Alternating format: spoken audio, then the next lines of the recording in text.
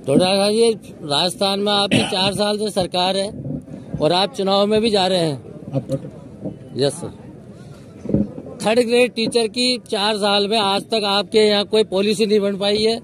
पूरे राजस्थान के third grade teacher अपने ट्रांसफ़र के लिए सरकार को कई बार अर्जियाँ दे चुके हैं। मुख्यमंत्री जी से भी कई बार बात हुई है।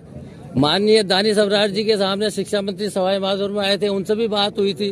चार साल में इसकी कोई पॉलिसी नहीं बन पाई। क्या कार वजह है इसकी? देखिए ट्रांसफ़र पॉलिसी बनना एक बात है और थर्ड ग्रेड के ट्रांसफ़र नहीं होना दूसरी बात है।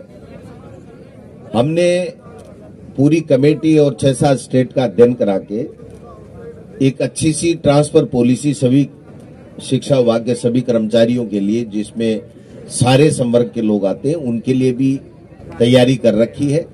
और आप उम्मीद कर सकते हैं कि थर्ड ग्रेड के ट्रांसफ़र भी होंगे, लेकिन जिन डिस्ट्रिक्ट्स में थर्ड ग्रेड के टीचर बहुत कम है और यहाँ इधर तेरह ज़िले हैं, जिनके टीचर उधर बाड़मेर, जैसलमेर, झालावाड़, प्रतापगढ़ में बहुत ज़्यादा है, अगर उनको बिना भर्ती किए यहाँ लिया जाता है तो वहाँ पर फिर सारी स्कूलों में वैकेंसी रिक्त हो जाएँगी।